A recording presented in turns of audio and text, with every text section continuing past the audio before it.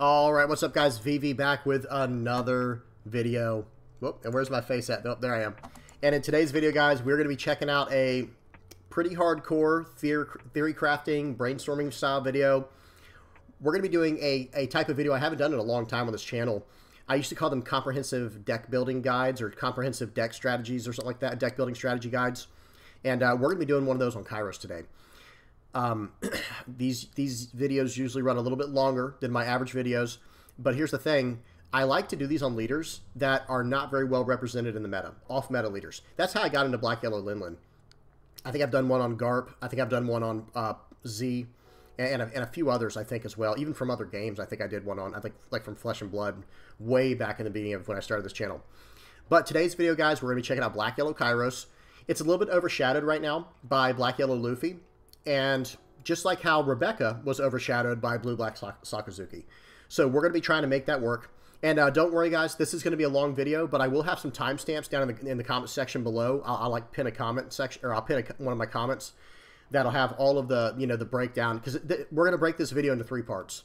Uh, the, the, first part is going to be the leader overview and breaking down card by card what works well in this deck.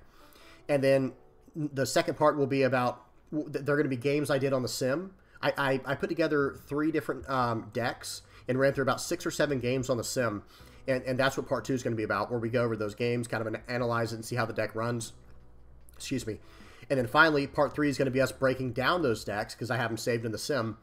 And we're going to talk about, you know, in conclusion, where do we go from here? And, and guys, please, you know, fill up the comment section with your questions, your suggestions because I just like to try to make these off meta leaders work. This is one thing that really attracts me to TCGs is trying to make leaders work that aren't supposed to or that that aren't very good, quote unquote, you know, or allegedly.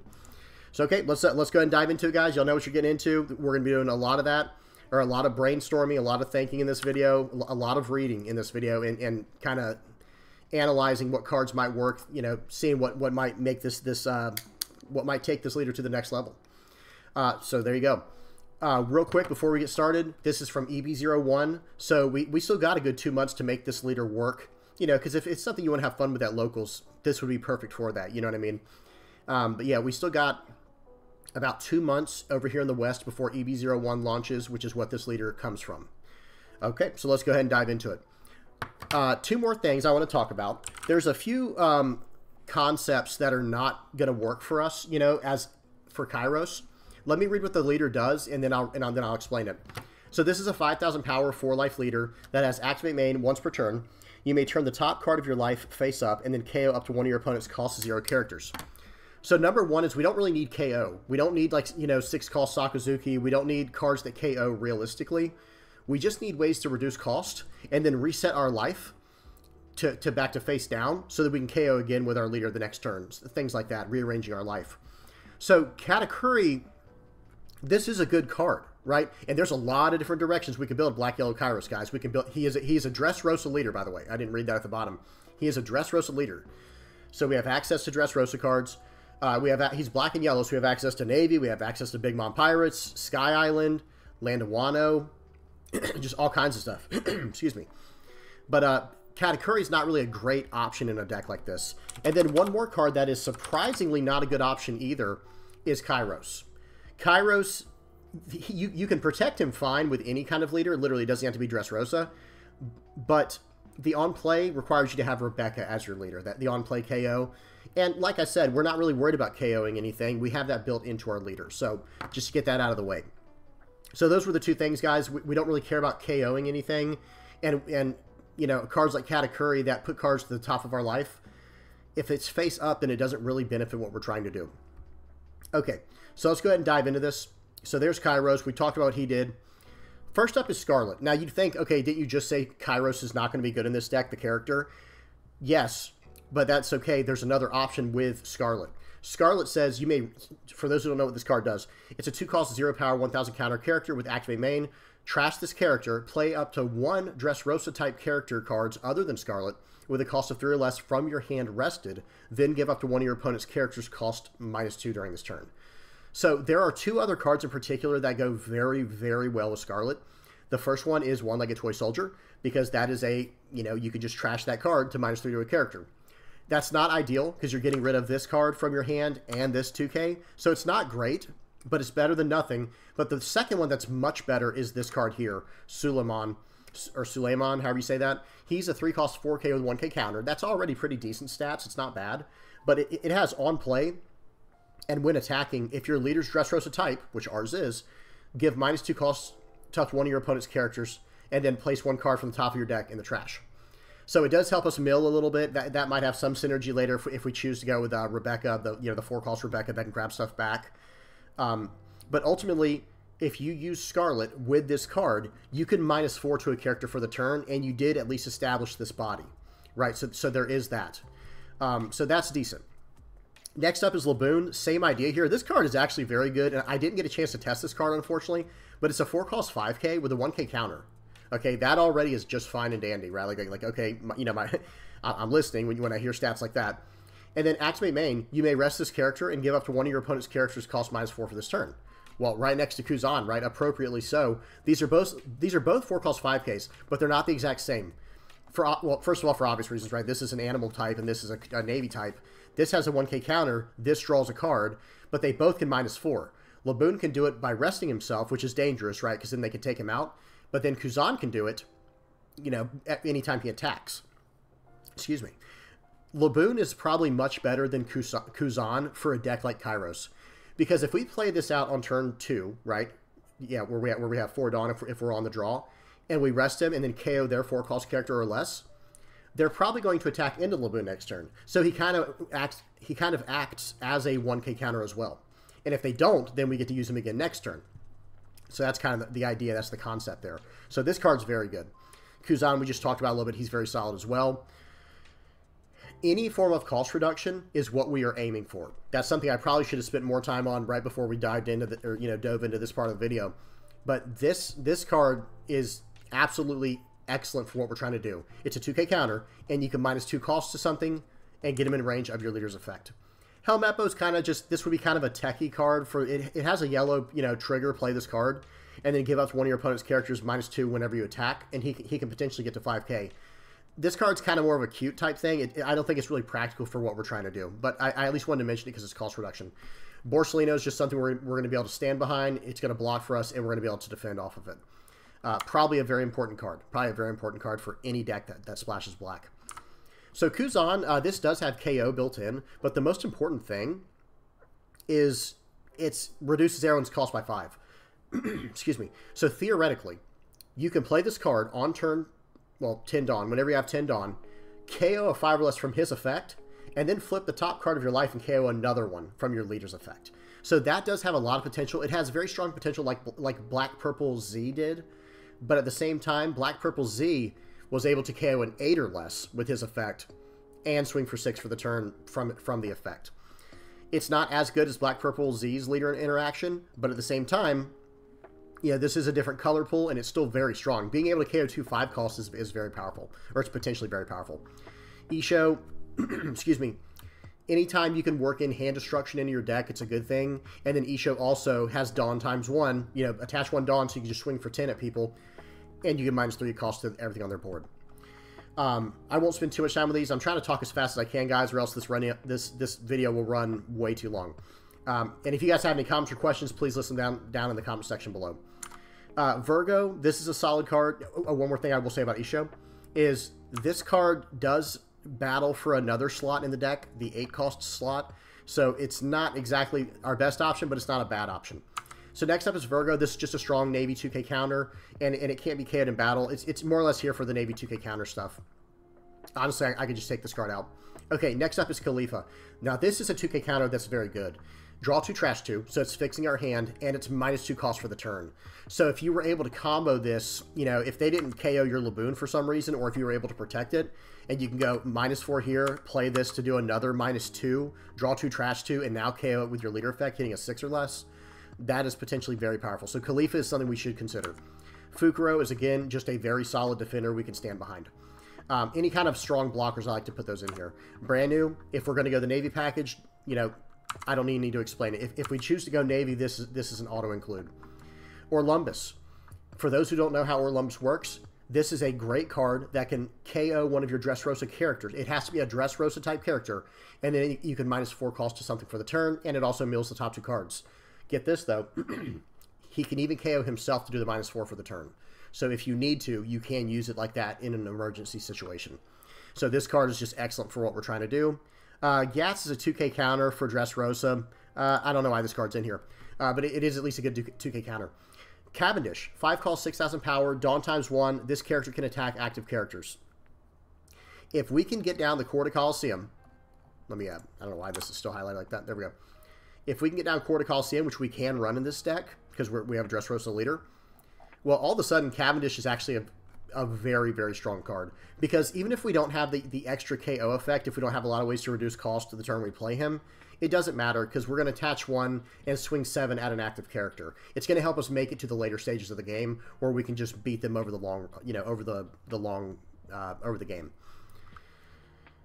Uh, next up is Sabo. I don't need to explain this one, just extremely powerful. Suleiman, we, we, we uh, kind of talked about that with Scarlet. Those go together very well. Hajrudin is actually pretty solid in a deck like this because it's a 6 cost 7k. It's, it's Dressrosa as well. And guys, if we are going to run Dressrosa, then we will have the Rebecca search engine as well. You know, there there is a very nice Dressrosa engine currently, so so we do have options there. Hajrudin, though, is very good in this deck because you can play him and you don't have to rest Hajrudin, so he's protected. You can rest your leader to minus four to the cost, and this effect doesn't require you to have your leader unrested. It just requires you to have a a the top card of your life that is not already flipped over face up. It just has it just has to be a, a face down card. So Hajrudin is actually pretty good here.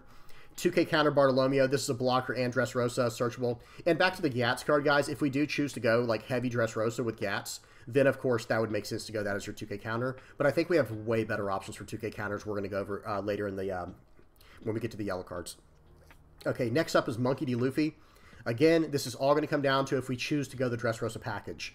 Otherwise, excuse me, it, it's kind of the same um, same position as Cavendish, where we can just play this, and if we have the Corrida Coliseum down, we can start smashing into their board.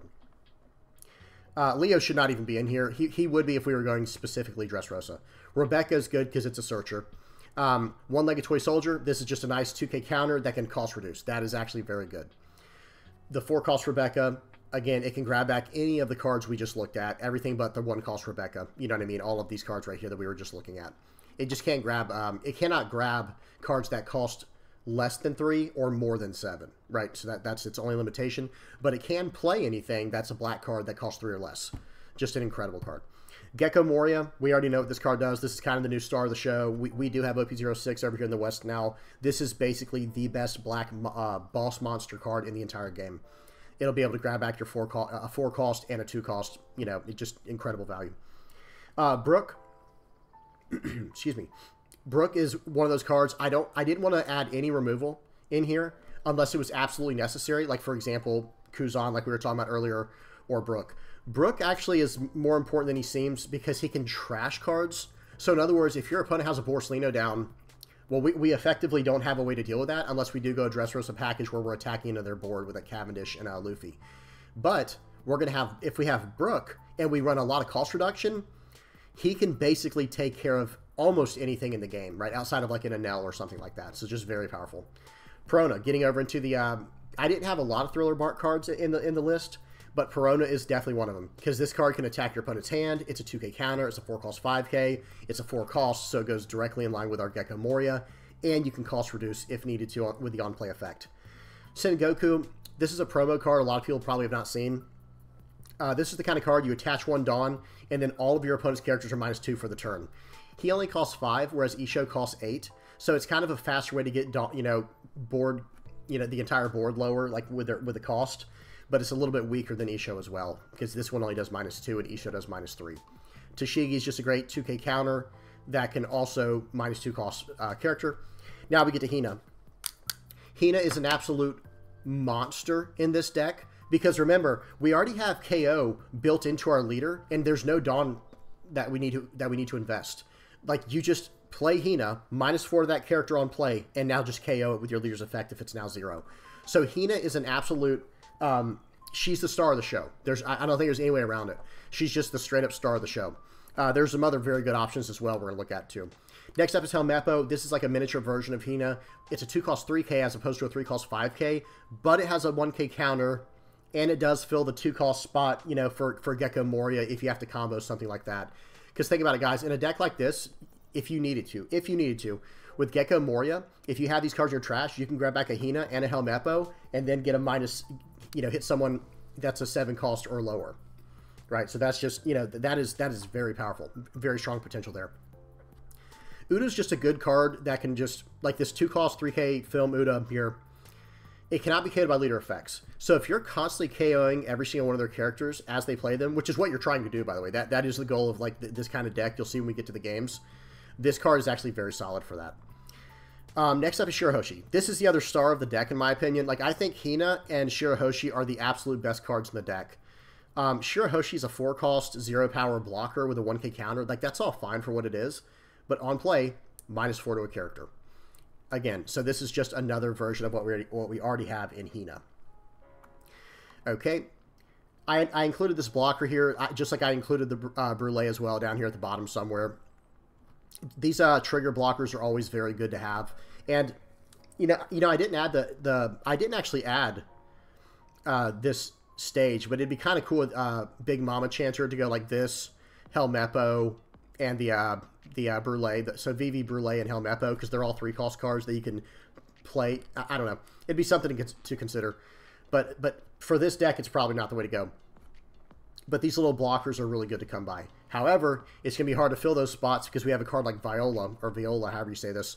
This card is a 2 cost, 0 power, 1000 counter blocker with on play, choose one of the following. You can either look at all your opponent's life and then rearrange them in any order, or here's here's the one that I like the most for what we're doing.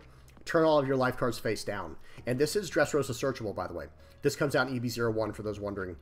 Um, this card is uh, this card is really good. Like when I started when I started testing this card, it was like, okay, this is really nice because you can also play it back with Gecko Moria to do the effect again, and it's a blocker. So if you need to, like let's just say if you need to, you need to get back a Hina and Viola. Well, you can play the Viola unrested, so you have a blocker who's active, and then play the the Hina rested. You see what I'm saying? Like there, there's a lot of potential there. Uh, just really strong synergy with the deck. Very strong card for what we're trying to do. Next up is Flampe. Any card that... So, so now we're getting into the yellow cards. So with black, it was all about what cards can give us cost reduction. With yellow, it's really all about who can help us mess with our life. Who can help us like make it where we can get more value from our life cards. Um, Flampe, probably not the best in this deck like it is in Black Yellow Luffy, but we can potentially draw the top card from our life. It's like, say our opponent does not want to attack into us so that we can KO their characters. Okay, well then in that case, I'll just pay one with this 2k counter here, draw that card, so it's out of my way now, and then draw another card from my from my uh, you know from the card's effect from the top of my deck, and now I can KO again if I have cost reducers. So so it is it is very very strong, guys, uh, in in this deck. But I think we I still think we have better options. Next up is Shirahoshi, the two cost card. Again, this is I didn't get to play test this one, but I think this card's very strong. Two cost, zero power, 1,000 counter. When this character is KO'd by your opponent's effects, place up to one card from the top of your deck on your life, and it has blocker. So basically, what it's saying is you have to block me, right? Like you just have to be able to block me, um, or excuse me, you, you have to allow me to block you. That's a better way to say it. Because if you KO me, I'm going to gain the life that you probably were going to take anyway if I didn't block. So, so, so that's yeah, that that's basically the idea there. Uh, very strong here, and it's a two cost card, like I said, so it goes well with our Gecko Moria shenanigans. Next up is Sanji, and with this card, I'm also going to talk about Daifuku. Where's he at? Did I pass him? This card here. They're both the same idea. So Sanji is, he's a 2k counter, first of all. 2 cost 3,000 power, 2k counter. DON times 2 when attacking, so swing for 5. You may add the top or bottom card of your life to your hand, and then add up to one card from the top of your deck to your life. So you get to get the top card out of your way that you just flipped over to KO something with your leader, and then put a new card there. So this card has a lot of potential, and Daifuku reads the exact same way, but he's a 4 cost 5k with a 1k counter, but he only requires DON times 1 when attacking. But the exact same effect. So those cards are very nice for what we're trying to do. It's going to be a matter of trying to find like what we can actually fit in the deck and make work. Uh, next up is uh, Shirley. Or Charlie here it says. Well, Shirley is, I, I think, what, what her name is. this is a three cost, 3,000 power, 1,000 counter blocker. Already decent stats, but listen to what it does. Look at the top of your or your opponent's life and place at the top or bottom of its owner's deck. So this is, we would want to use this more for us, right? So after we do a KO effect and we play this card, because it's an on-play, when we play this card, we can now move that card out of our way. Again, we're trying to get around our opponent, not attacking our life to save his own characters. We don't want to allow him to have that luxury, right? We want to be like, oh, okay, you're not going to attack? Well, then I'll just take my life with a card like Flampe, or I'll just rearrange my life with a card like Shirley. Okay, so we can keep trucking, right? We can keep KOing and, and, and just keep, you know, keep going. Uh, next up is Charlotte Cracker. Uh, any kind of trigger card like this is not really great for us, but it's also not bad. But if we are going to go like a Big Mom Pirates type package, which is what's going on here, then Cracker does make sense because when they see like, oh, you know, this isn't the how do I say this? The trigger cards are not incredible for what we're doing. I'm just going to say that right now. Smoothie, you might have a you might have a case for because you can draw that top card of your life and get it out of your way. So I'll keep Smoothie, but I will say in general, Charlotte Cracker's not really what we're going for because we also want to be pretty aggressive. That's another thing I didn't mention in the beginning. We want to stay attacking into them, right? Because because we're, we're not gonna we're not running um we can't run ten cost Linlin, so we don't have a lot of ways to gain life. You see what I'm saying? Like yes, we can run run Yamato, we can run Katakuri defensively if we need to. There, there's a lot of options we could run to gain life, like with the Land of Wano package, but that's not what we're trying to do either. We're trying to KO our opponent's board and just you know run them over in the game. Uh, next up is Charlotte uh, Chiffon, however you say this. This is a this is a card I'd never seen before until I started uh, doing you know researching this video. This is a two cost, 3,000 power on play. You may trash the top or bottom card of your life. So again, that's what we're trying to do, right? And then place up to one card for the top of your deck at the top of your life. So it literally just gets a card out of your way. Now, this is not a great card, like the stats on it, and now we have two really, really good options in the in the two cost spot, like Shirahoshi and Viola, but it is something at least to consider. Where were we? Right here. Smoothie we talked about a little bit. This card is actually is actually pretty good because when you attack, you can you can move that top life card out of your way, so you can use your leader's effect if needed. Charlotte Pudding. Now this whole thing right here, these these Charlotte Pudding and uh, Perospero, these are only here in case we choose to go Big Mom Pirates. I'm just putting those there for that. Shirahoshi, Shirahoshi is just an incredible card, and even if you reveal this off the top, and, and they can see it, what are they going to do? They can't they can't stop you from drawing it. You know what I mean? It's it's one of those cards. It's like yeah, it's you know th this card is coming whether you like it or not, right? So it's just a it's just a good option there. Bege, we, or we already know what this 2K counter does. If we need to go more defensive, that's what this is for. Same thing with Sanji. If we need to build the, if we need to start building the deck a little more defensive, depending on what your meta looks like, what your area, your locals look like, these are two really incredible options. Yamato gains us a life and it's face down. So think about that, guys. There will be a combo we'll be able to do later in games where potentially, this is all just potentially, Yamato to KO like a three or four cost character with her effect, gain a life, you know, and then we can also use our Ice Age to KO another card with our leader's effect. Again, just, you know, potential there, some potential. Uh, good stuff. Next up is Enel. Um, if we if we choose to go the Sky Island package, I'm not going to go over much detail here. If we choose to go the Sky Island package, we have access to Enel, Ohm, Gedatsu, Satori, Shura, and Holy, right? And this other card here, Aza, or Asia, whatever her name is. This is a one cost 2k counter from Sky Island. On play, check this out, look it up to one card from the top of your opponent's life cards and place it at the top or bottom of, of your life cards. It's not good for ours. It's like it's not as good for what we're doing, but it can allow us to get around our opponent's triggers if we choose to go the Sky Island package. But otherwise, I'm going to get it out of the way. Um, Onami, this is just a good two-cost card, like we were talking about earlier. You can give your, your, your leader Banish, and it, triggers off the top to KO 5 or less. So this is just a good card to add. Kikunojo, Hiyori, Momonosuke, and Nekomamushi. These are like just really strong Land of Wano options. And by the way, so is this card, this Monkey D. Luffy we'll talk about in a second. But if we need to go more um, like I don't know a more mid-range route, I think these cards are probably auto includes because Hiyori, this is a 2K counter that I don't think we can ever replace. This allows us to you know just get the top card out of your way. That's that's already face up. Put something in its place like a Kikunojo that you can now play out for free or use with your leader's effect to KO something. It, like this card is incredible. Kikunojo is incredible. Momonosuke, um, he's not as good with his effect for what we're trying to do. But if we, you know, how do I say this? Excuse me. If we need to, we can use this to gain life. So, excuse me, it, it's better than nothing, right? It's, it's still just a really good card. Nekomamushi, same thing we were already talking about here. There's some other Land of Wano characters as well, but they're not as good as what we're trying to do with, with these uh, these four. Now, this Monkey D. Luffy here, this is a promo card, and it is it says it's a 3 cost 4K, 1K counter, Land of Wano searchable. When attacking, you may add the top or bottom. I said I said Land of Wano searchable, like we can do that in yellow. That's more of a green thing. Sorry, guys. But you can at least use this with um, Momonosuke's effect if you need to. Anyway, when attacking, you may add the top or bottom card of your life to your hand. This character gets plus 1,000 for the turn. So it'll allow you to get that card out of your way again. And remember, that's what we're trying to do. Charlotte Katakuri, same idea where we can move our cards around. Look at the top, one life card from the top of your of, of your or your opponent's life, and put it and either keep it on the top or and wait, I can't even read, and put it either on the top or the bottom of the life area. So we can just move cards out of our way if we need to. And then we can potentially get rushed if, if we're losing, if we're below in uh, life. Daifuku, we already talked about. Brule, we talked about. Charlotte Pudding is actually really good in this deck. The, the 2 cost 3k, 2k counter Charlotte Pudding. Because on play, look it up to one life card from the top of your or your opponent's life area and put it either on top or bottom of, of life area. So we're moving stuff out of the way. Charlotte Linlin, again, if we go the, the Big Mom Pirates type, we can gain life like this or, or hit our opponent's life. This card, same idea. You may add the top or bottom card of your life to your hand, so it's just getting cards out of our way. Land of Wano, 2k counter. This is the new Edward Newgate coming out in the ST13. So, so this is coming out in about a month or so for us over here in the West. This this card here is a 6 cost 7k, 1k counter. On play, add the top card of your deck to the top of your life cards. Then look at all your life cards, place one of the cards on the top of your deck, and, re and return your remaining life cards in your desired order.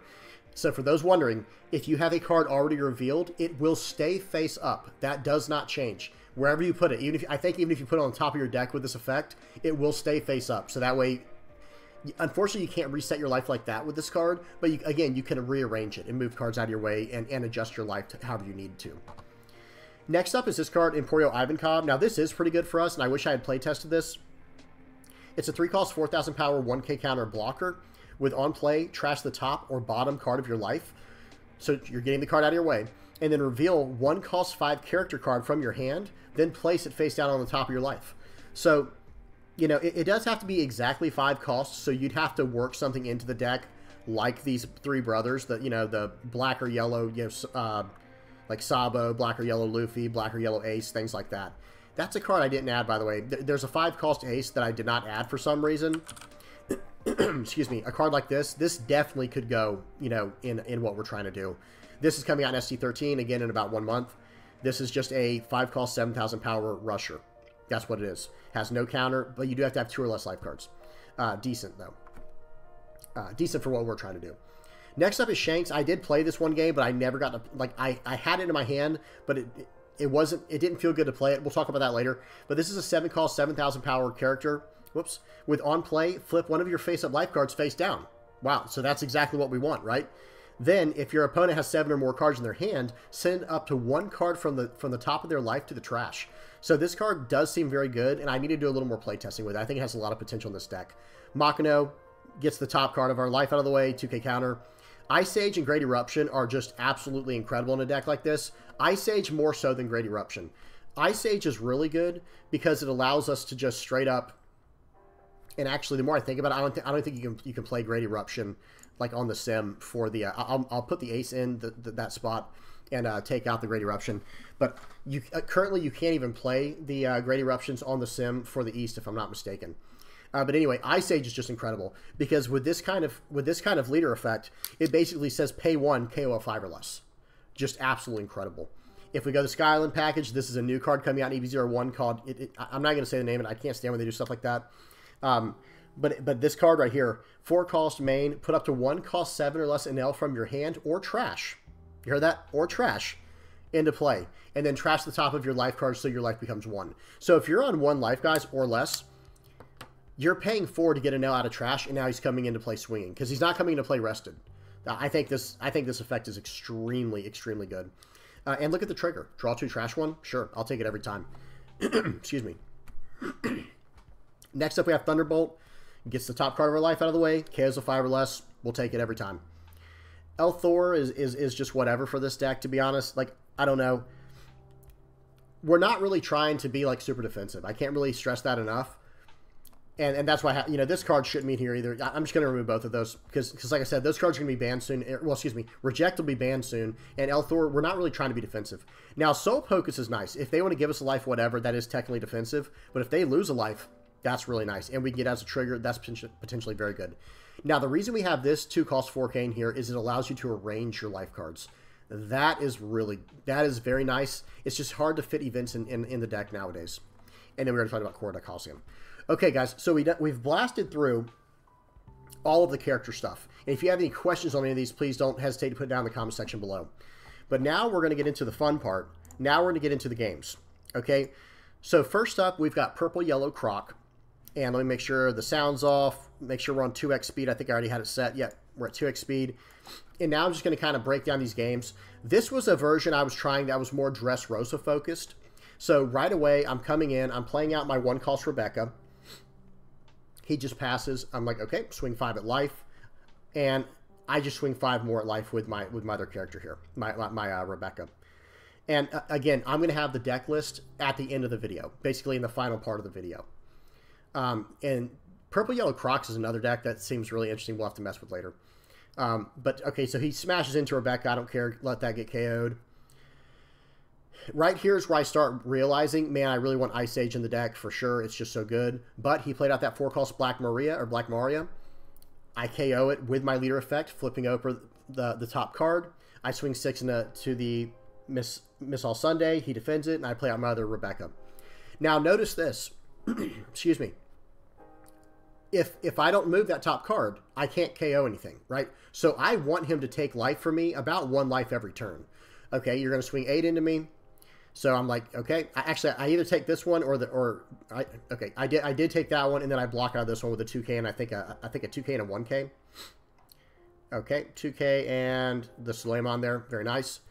And again, I want to take about one life a turn. This is very similar to how Black Yellow Linlin plays, where you want to take exactly about one life every turn, so that way you're getting access to your triggers and you're able to, you know, get down to your leader effect at a comfortable spot.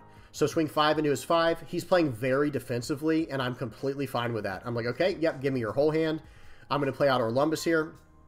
I KO my one cost card with Orlumbus to drop its cost. I KO it with my um with my Kyros, the whatever it's called, the Miss Golden Week, I think her name is. Okay.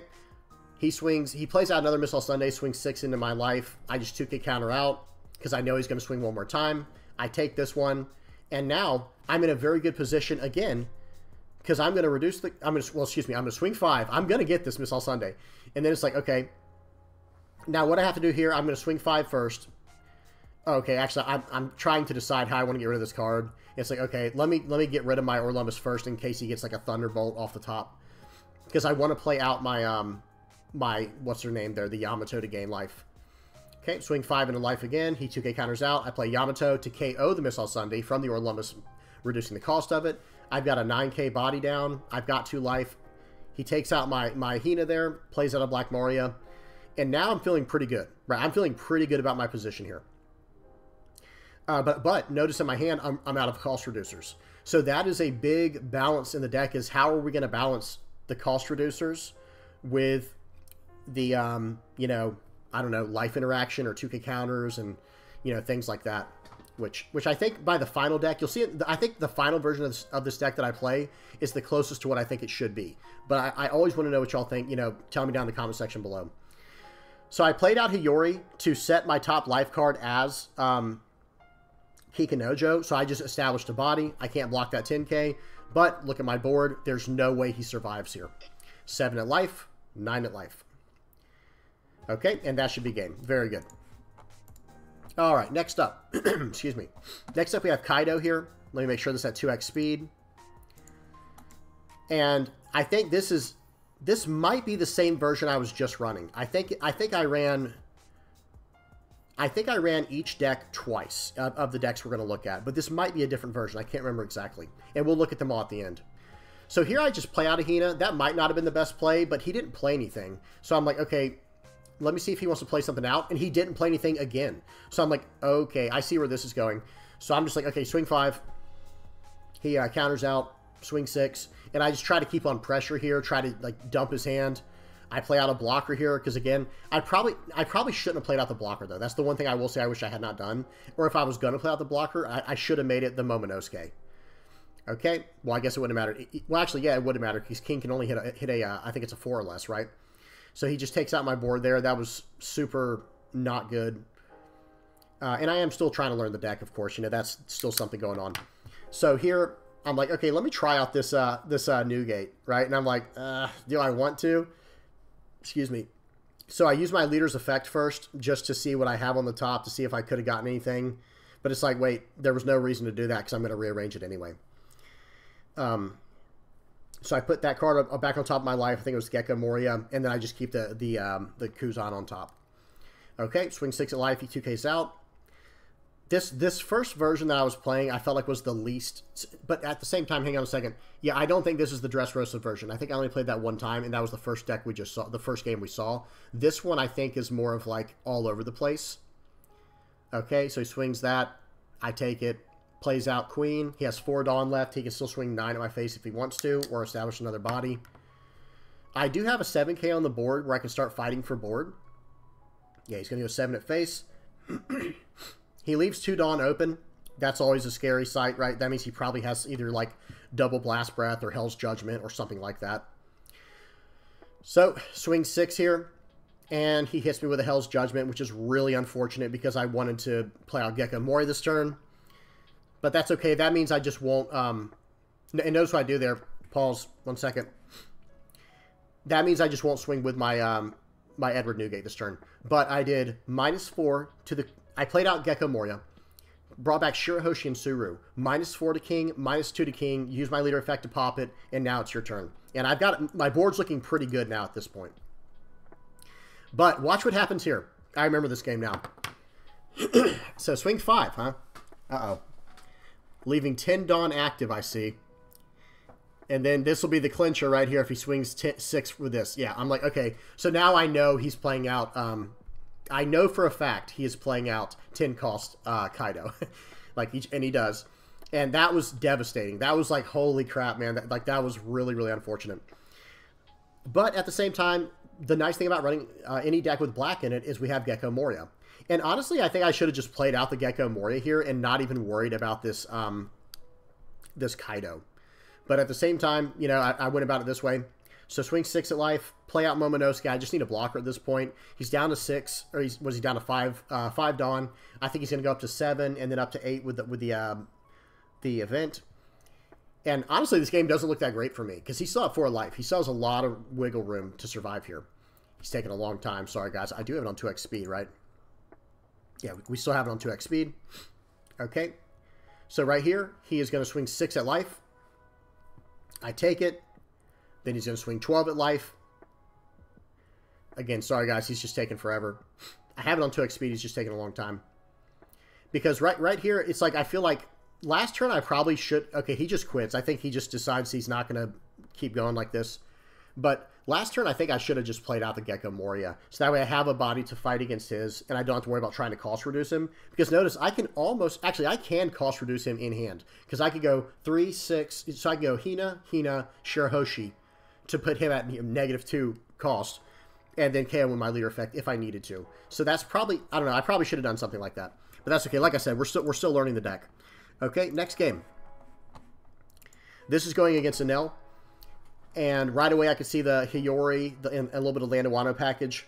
This is this is the all over the the version, uh, all over the place version of the deck, and honestly, the Hiyori every card you see in my hand right now, they're all stars in this deck. And that's what makes me get to my final version whenever we do get to it. Because the way Hiyori allows me to set life cards, I'm like, absolutely, man. Like, I'll take it every single time. So here he goes. He's going to swing in for six. I'm to 2k counter out because he has four life, right? So if, if I had countered here, or if I had not countered, I couldn't get my um, my Kikunojo because he has four life. Yeah, they have to be at three or less life. He does, he sets his own Hiyori trigger. And I'm going to smash into his face here, and I want to ensure that I can get my Kikunojo. That's that's that's my mindset here. Like, yep, we're going in for nine. I want to. I mean, he might have taken a hit for five. I know that you know he set his top life card, but I didn't want to risk it where I don't get my Kikunojo for free when he's about to attack this next turn here. assuming he attacks next turn. Okay, so he he uh, trashes that Raigo card. That card could be decent in um in Kyros, but again, guys, you got to remember we're not trying to. We don't need KO. We need ways to reduce cost and, and ways to fix life. Okay, so we get Kikunojo. This card is just good. Period. If you're running yellow, you it's almost like with um, Gecko Moria. If you're running any version of black or yellow, you should just be running Hiyori, Kikunojo, and Gecko Moria. It just makes sense. Okay, so he uh, he gains a life with his little um, Momonosuke interaction there with, with Hiyori. And I don't have it on 2x speed, do I? Sorry, guys. That was a close one. Okay. Um, excuse me. This is a less than ideal spot here. This, this is like, okay, Enel's already a hard enough leader to deal with, but I have to double up my cost reduction just to get rid of his Momonosuke, which cost me a 2k counter. But, you know, you do what you have to do. He is... A, he's countering very aggressively, which I was really surprised about. And who knows? We have no idea how good these players are, right? Like this is just the sim. This is not the um, this is on the Eastern sim too. So there's no telling how good these players are, how experienced they are, anything like that. And I, I will say this. I, I like the Kuzan in the list, but I'm starting to think that I should have been going with Laboon because Laboon is just an immediate cost reduction. And that's the one downside to Kuzan is you can't just cost reduce the turn he comes into play unless you have some way to give a guy haste in, the, in like in some future set. Okay, so notice I'm in this position right now where I can't, um, like my, my top life card is flipped face up. So I do need to, you know, I do need to, I can't KO anything until until it's face down or I get it out of the way. But there's nothing on his board I need to worry about currently. I get a Kikunojo out here and I just cancel the other, I don't need the, the, the cost reducer and and now I have a I have a 9k and a 6k on the board. That that feels pretty good. So just talking about the deck, like what feels good about it so far is like what I was just saying with the black and yellow package. Going Gecko Moria, going uh, Kikunojo, having this way to just KO built built into your leader, that that does feel nice. Like that is a very good part of, of the deck. He Katakuris my Gecko Moria to life. I was I was flabbergasted when I saw that because typically speaking, an Enel player will push their Shirahoshi back to their life. So I, I bust out another. I, have used three out of four Surus. That's how strong that card is, by the way. Suru is so nice in this deck because she helps your Yamato get in range of, of cards that normally couldn't. Okay? So so he does a, Yamato of his own and KOs my Kikunojo. I gain a life from it because they're at three, three or less life. And um, yeah, I take that top life card. it was a Momonosuke. Sorry, guys, my, my nose is really itching from. Uh, I, I had to shave my mustache down. If y'all can't tell, I had, had to shave it down because it was uh, when that pollen gets kicked up, it just gets stuck in whatever hair you have. So that hair right there under my nose, I, I just can't do that. Okay, play out Momonosuke. I didn't see what else I did there. Oh, I played out the Kuzan and the Momonosuke. So, so, so swing six, play out um, Kuzan and, uh, and Momonosuke. All right and he's going to swing seven at me. I need to start taking life. I'm like, absolutely, please take. I need you to hit me one more time, too. Okay, now here's the situation where Hiyori is so nice, where we can combo it. Well, actually, I probably won't even need it right here because I have a, I have another Yamato in my hand. So I can just, well, let's see what I do here. I'm, I'm trying to decide what I want to do. My opponent does have more than five cards in hand, so I can hit him with a Perona to minus three to a card and then minus four with Kuzan, but that's still a little bit under what I'd need to hit his, his Katakuri or his, or his Yamato. So here, I'm just going to swing in here for six. He counters out, and I'm just going to Yamato KO his Yamato. And I don't want to swing with my Yamato just yet because I don't have a follow-up swing, and he can just do a life cycle with his leader's effect. So th there's no point. Uh, and, and he can start attacking into my Yamato. So right here, I'm just like, ah, I'm just going to pass. Okay, what's he doing here? Oh, he plays out a seven cost Linlin. And I, I, I decided to just trash a life. I'm like, okay, whatever. I just need to lose life because I need to, I literally need to free up my life space there so I can start KOing characters with my leader's effect. Because now, if he doesn't take out my Kuzan, I actually can get in range of hitting that, um, okay, he's going to swing 8 into the Kuzan. I think I counter out here. I do. Because it's like, no, I'm going to use that. Like you're pretty much going to lose your board at this point, right? Because I can, I'm going to be able to swing four. Well, I have to do this in the right way if I want to do the Perona. Let's see if I do this correctly. Because what I could do right here, let me pause it for a second. The thing that I could do right here is swing five into Enel's face, right? And then minus four to the seven cost Linlin. Then, or actually, I would Perona first because if he counters out, then he'll have less than five cards. So what I should have done here, guys, is Perona first, minus three to the seven Lin, Then swing um, for, for five at leader, minus four to the seven Lin, And then I could KO it with my leader effect and then do everything else I was going to do this turn. But let's see what ends up happening. Swing 10, swing 10 into uh, Katakuri. Yeah, so now, now I can't even do the, the thing I just said because he doesn't have five cards in hand. But that's okay. I have, I have other options. So now I'm just going to... I think I just established Gecko Moria here. Yep, swing 10 there. now, I think, you see I've got my mouse over the the 10 or the, uh, the 7 lin. This is where I realized, oh, I just messed up really bad. That's okay. Again, I, I did the same thing. This is like deja vu, where I play out the um, the 8 cost uh, Gecko Moria and just establish a uh, just establish my Kikunojo. But my board right now, guys, I have four life right now, and my board is very intimidating. Like I've got three 9Ks on the board, a 5K, and a 6K that you know that do things as well. He swung 13, or excuse me, he swung what was it? I think he swung 12 into my um my Yamato, and I literally just double 2K'd out. Where it's like, well, now I should be able to just win the game, depending on what kind of triggers he gets. Let's swing 7 at life, see what he gives me. Okay, so he's thinking about this. He knows. I mean, the, the end has got to be near for him. He, the, the end is in sight. Let's see what he gets for a trigger, or if he gets one at all. Golly, guys, I, you know, I, I thought I had this on 2x speed. I do. The guy's just taking a while. That, that happens on The Sims sometimes. You got to wait for these guys to get, uh, play. So he just, he, he, uh, he got a Bege trigger. Notice my um, my Yamato cannot attack now. I'm like, oh, okay. Yeah, that, that's unfortunate. Well, I'll just go ahead and clear up your board. Okay. And I probably could have tried to go for game here. So let me see what happens. Swing seven. Let's see what he gets. Okay, but he counters out. So that's that's pretty good as well. But I still want to swing six more to get that last card. So now he has no life. Right now, he, we're, we're past the uh, the Enel trigger. Establish a blocker so he can't KO something I don't want him to KO. And that's game, right? There, there is no way out of this one. Okay. He's going to try to 200 million volt Amaru and just run something over here.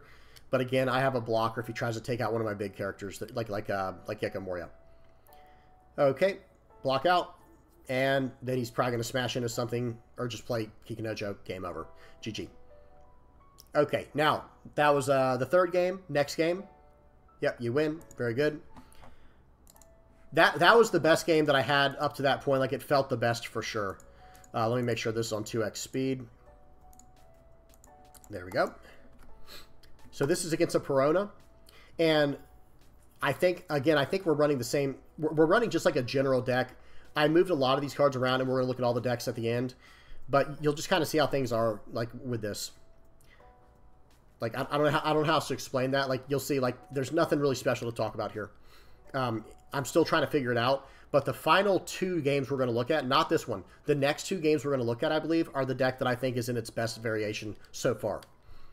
Um, okay, so, you know, Hina's not going to survive, right? She is not, she is not going to make it past Perona like, oh, look, she made it. Just kidding. Ryuma hits her. you know, that, that's because they run four uh, Ryumas and like four X-Drakes typically. So th there's no way that Hina was going to survive. But okay, I just do it again. I play I play out Rebecca to pop that thing, get it out of the way, and that's fine. Now I do have Viola in, in this uh, in this deck, so maybe maybe this is the beginning of the decks where I have the uh, the package where I want it, where I, where I started feeling really good about how it was playing out. Because that last game went very well against Enel, and I know that probably wasn't the best player. You know, we have no idea what skill level these people are, that we're playing against on the sim, but th that game felt very convincing. You know what I mean? It showed like there was actually some potential for the deck. Okay, so he Brooks. Uh, so there he used Brook, by the way, to remove the two cards from my trash. Because Brook has two effects. He can either hit a four or less and trash it, as opposed to KOing it, or he can make you put up to three cards from your trash at the bottom of your deck. So he did that. He got rid of my Hina and my Rebecca, which that was that was a pretty solid usage of that card, to be completely honest. Okay, swings five there. I didn't want to. I didn't want to rest my Momonosuke because I figured he was probably going to minus cost to it, and then and then um, you know hit it with something else. so he has eight DON here. I'm assuming he's about to play a Gecko Moria, but he might not have drawn one. I've had that before where it's like, man, I really wish I had this card in my hand, but you just you know you don't always have it. Swings nine at my at my at my uh, my leader. Okay, Suru, so he does do exactly what I said. I should have blocked with it after all. But if I hadn't blocked with it, maybe he could have saved something there. You know, it, it makes sense to do it the right way. Yeah, because he had to use a 2k counter. I think it was probably worth it in the end. Okay, so I have 9 DON here. Um, and I have Viola in hand. So swing 6 into Brook. Let's see what he has in his hand here. He does not counter out of that, so that leads me to believe he has no counters in hand. Like none. Not a 1k, not a 2k. Or if he does have a counter, it's like a 0 cost 3k trash 2. Okay, so play out Hiyori minus 5 to that character and KO it. So notice what I did there. I just grabbed... Let me pause it real quick. So what, what I did there is I used Hiyori to flip over my um, my Viola. Then I used my um, Ice Age to KO his Ryuma. Then I used my Momonosuke to put the Hiyori on top of my life so I gained a life that turn and took out one of his characters. So that is kind of the deck playing at like maximum potential, I feel like, where it's like, okay, that's a very solid play there. Like that had a lot of value. Um, okay, so he swings at me. I'm going to take it because you know I need to, I need to preserve as much counters as I can. Swings in for five. I just counter out with with this Viola because I know I have another Viola coming. Hits me with his fourth Ryuma, I think, third or fourth Ryuma. I'm like, okay, you know, but I did top deck a Hina, so that is just a straight answer to that. However, I have to adjust my top top life card what I probably should have done there, uh, it's, it's hard to say. I probably should have grabbed my bottom life card and then set a top life card on top of it to see what my bottom life was. Um, but either way, I'm able to take out the Hina and, and all that good stuff. So, see something. All right. Play out the Sabo. My guys are protected for the turn. He can't hit me with his fourth Ryuma if he has it this turn, so, so that's good, right? That's good at least. Okay. So, loads up seven on Suru. It's like, tell me you have nothing in your hand without telling me you have nothing in your hand. I take this hit from the Viola, or to get my Viola here. Zero into zero there. And I'm ready to play some Gecko Morias. Right, that's that's the, the spot we're at now. Honestly, I think what I should have done here is swing seven first. Yeah, and I do. So swing seven first, see what he gets. The only thing he could have gotten there, I think, is technically like a Punk Gibson or something, because I don't think they run many things that can deal with Sabo. So I play out. So notice this. Let me pause it. Ah, let me go back just a little bit. Oh. There it goes. All right, pause right there. So I play out my four cost uh, Kikunojo and Viola, but I played out the two cost um, active this time because that's a blocker. Viola's a blocker. And now I'm using her effect to look at his top two cards. And now I know it's coming. He has a Thriller Bark Pirates or Thriller Bark stage and a coming. So, you know, that that's good. Any, any kind of information is good. I know I don't have to deal with any kind of triggers. It's pretty safe to attack into him and my board is getting very strong at this point. That's what Gecko Moria does, right? Uh, okay, so he's going to rest my Viola. He's got 10 DON active here, so I'm thinking he's probably going to drop a 10 cost Dofi, unless he just doesn't have it. Because I feel like he would have done it last turn. Yeah, I don't think he has it. I don't want to go down to my last life like that. I want to keep at least one life on the board if I can. Swing 5 in a life, that's going to take a response from him. Okay, swing 7 there. Uh, looking back, I think what I should have done there is actually played out my um, Rebecca, getting back my um, my five call Sabo, and then I could protect my whole field like that. That's what I should have done there, in my personal opinion. But this this way works as well. It's a little more aggressive, but it works as well. Black Green doesn't have any rushers that they run. Who knows? Maybe they'll run Hody Jones in the future. But but yeah, that would be interesting, right? Hody Jones and uh, Black Green Perona, but but no, probably not. Probably doesn't work that well. So he gets into Nupe, draw two, trash two from the, the card we just gave him from life, the Thriller Bark stage. But we know his last card is an Inuppe. He swings 13 at life. I do take this. It's a Kikunojo. I'm like, okay, we're about to go 7, 7, 7, 9, 9, or whatever it ends up being. 9, 9, and then 9 again. So, again, another pretty convincing match. You know, like, like the deck is showing some potential. It's showing some promise there. Okay, next up we got Blue-Green Sanji. Um, I have played this deck recently, guys. Blue Green Sanji. Like I've played the leader Blue Green. It is a surprisingly good deck. Okay, now this is when I have the deck. I think pretty much where I want it. This is a really short game. I, I do want to use as an example there real quick because I have like kind of the start that I want. And, and that's another thing too I should mention. Going first in this deck with Hina in hand feels really good. Going second with um, uh, Shirahoshi in hand feels really good. So, so those are two cards that are just outstanding.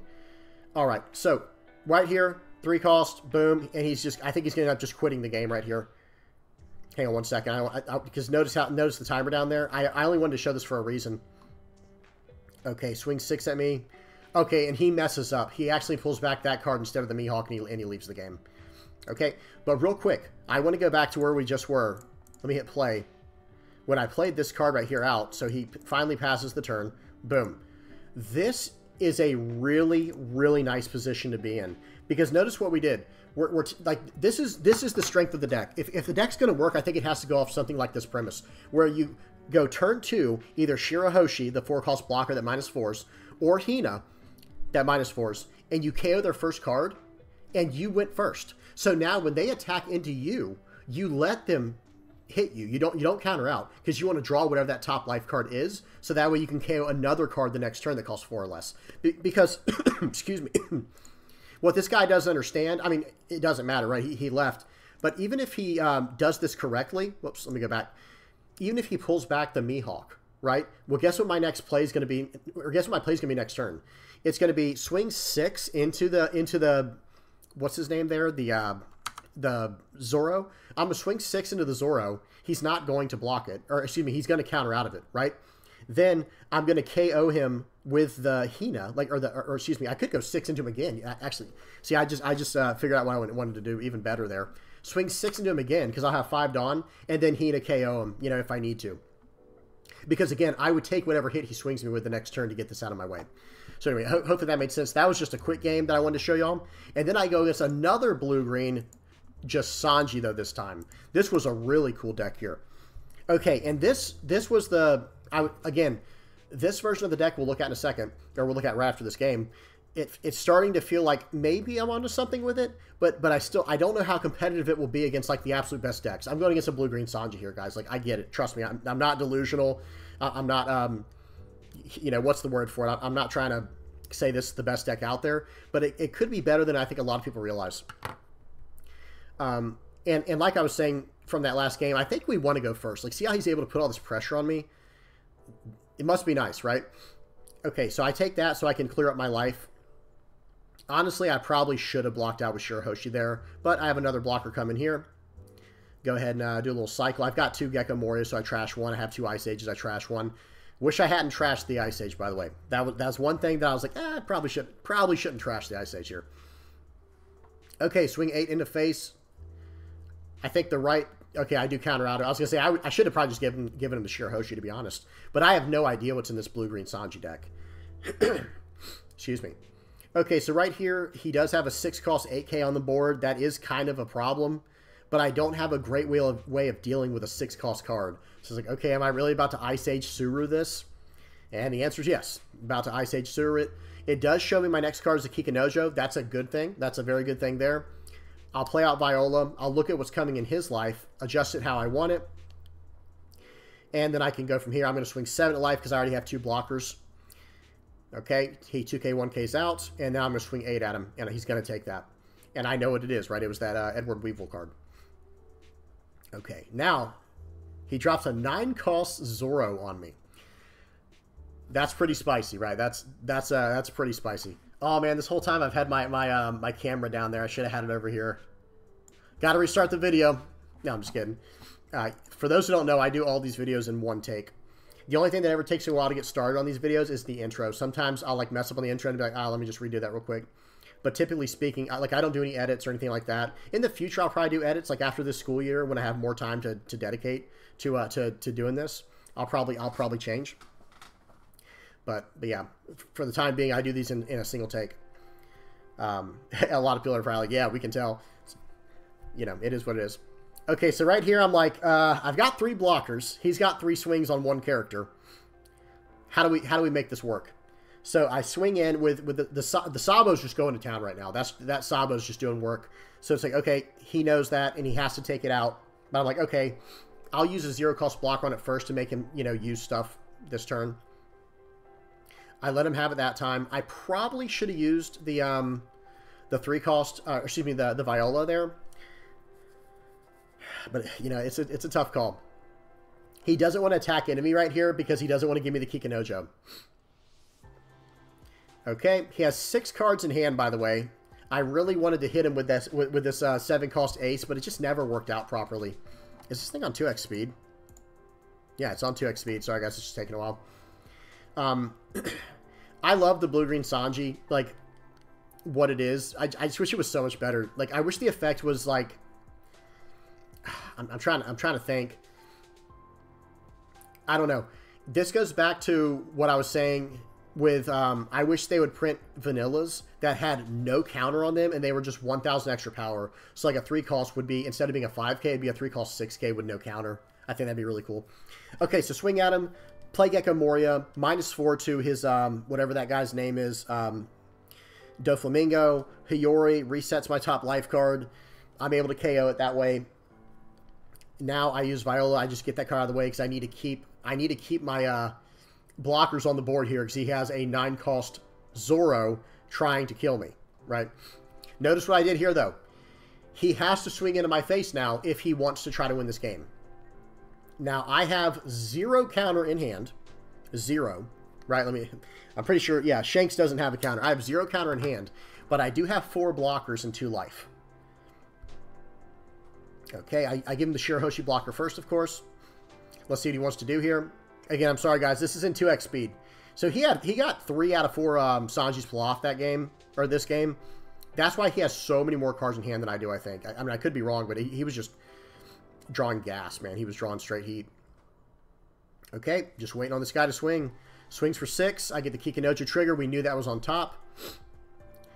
Okay, he pulls back Doflamingo and plays out the three cost guy.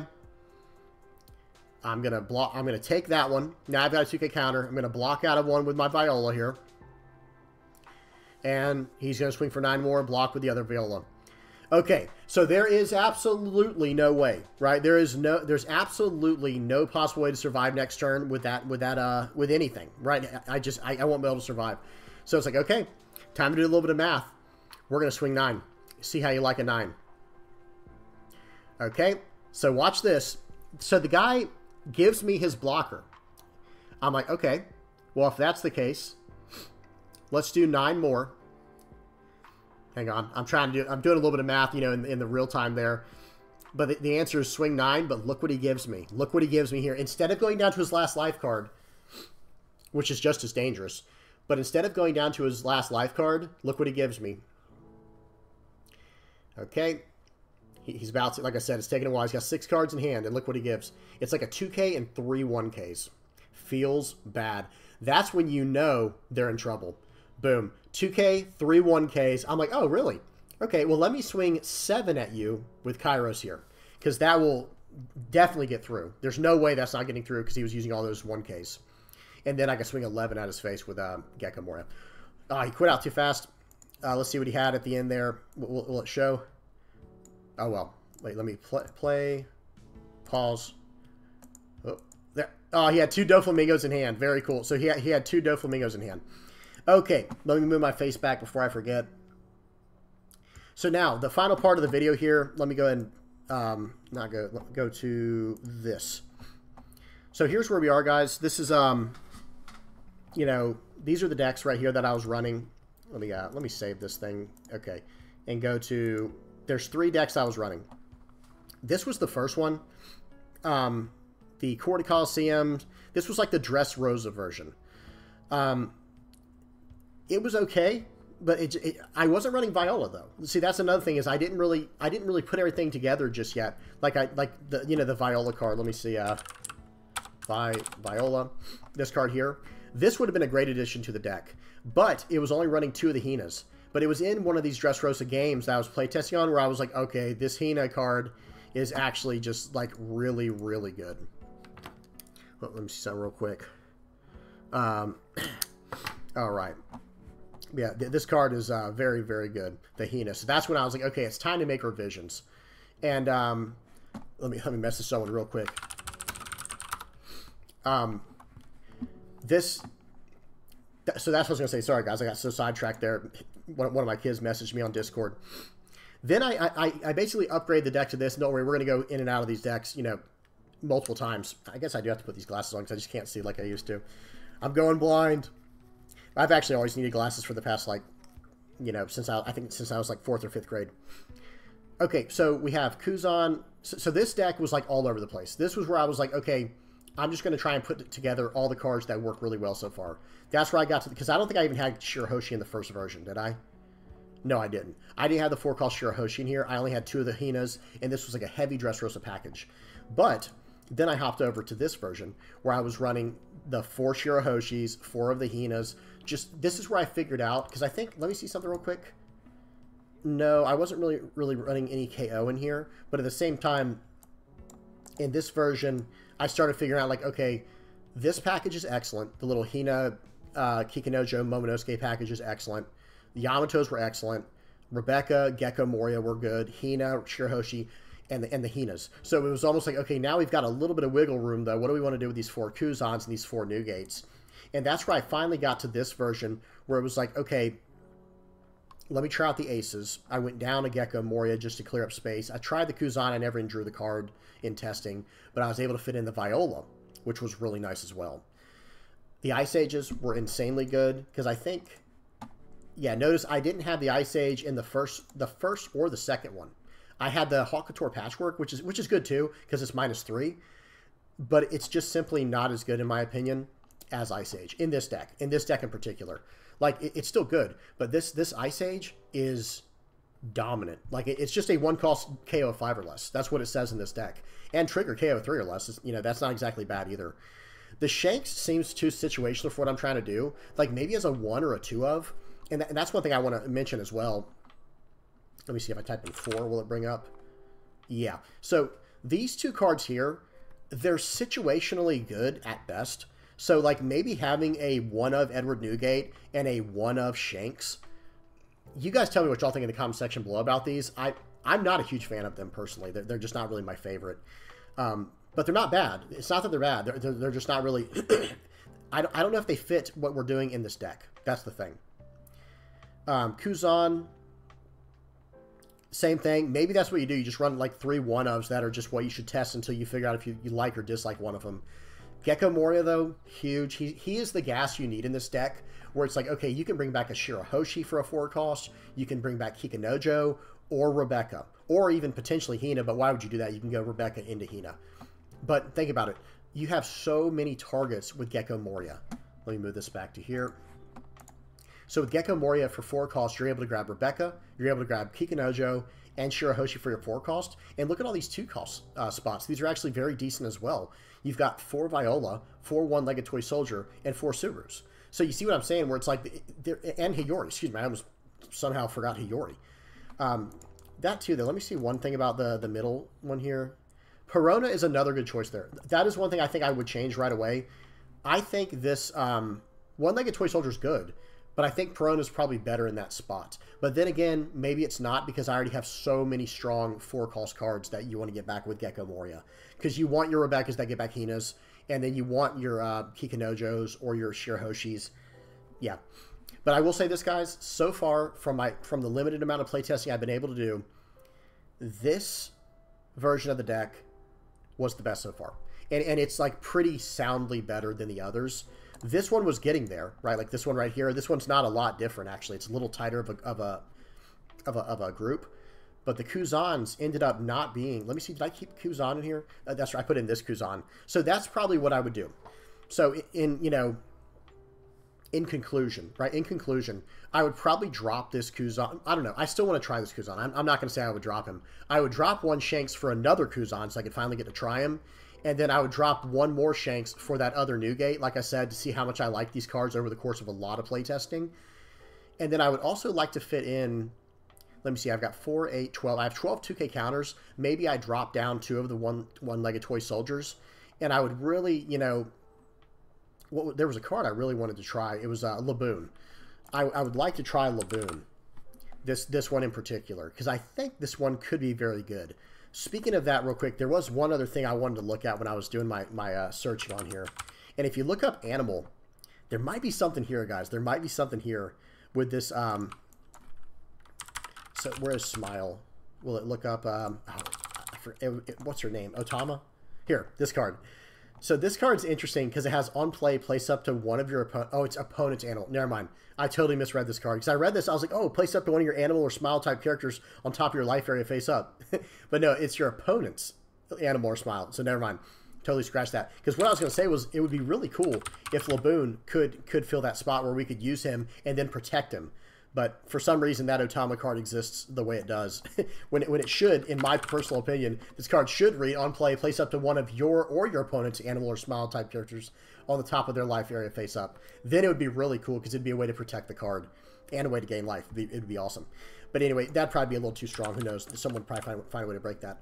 But I do want to try this card out. So moving forward, what I would probably try, like I was saying, let me type in four for four uh, Emperors. I'd probably go up uh, one of this guy, Kuzan, go one of these, you know, so that I'm at uh, two of them. And then I would probably go down two uh, 2k counters here and try out Laboon.